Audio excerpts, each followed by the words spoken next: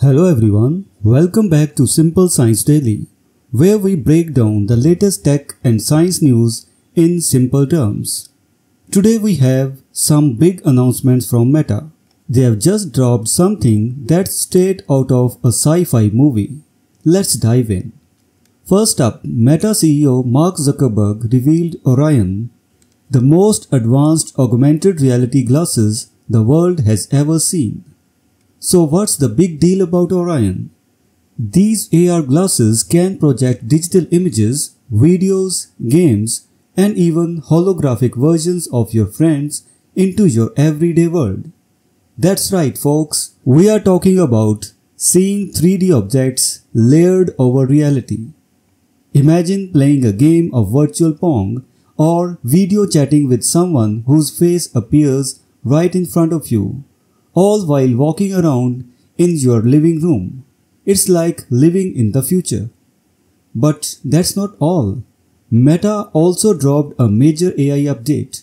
Their chatbot, Meta AI, can now respond to voice commands and get this, speak in the voices of celebrities like Judi Dench and John Cena.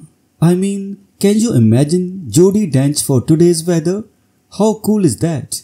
And if you are more into wearables, Meta's smart Ray-Ban glasses just got even better with AI. They can now help you remember where you parked your car, translate conversations in real time, and even answer questions about what you are seeing.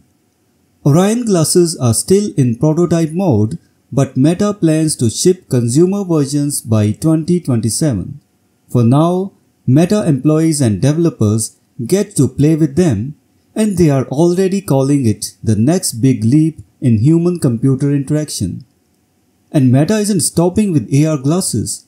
They have also announced the Quest 3S, a mixed reality headset with AR capabilities but at budget-friendly price starting at $299. It's perfect for anyone looking to experience the future without breaking the bank.